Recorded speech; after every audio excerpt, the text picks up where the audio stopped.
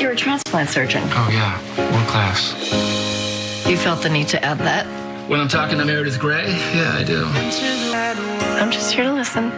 No, you're not. New Grey's Anatomy next Thursday on ABC.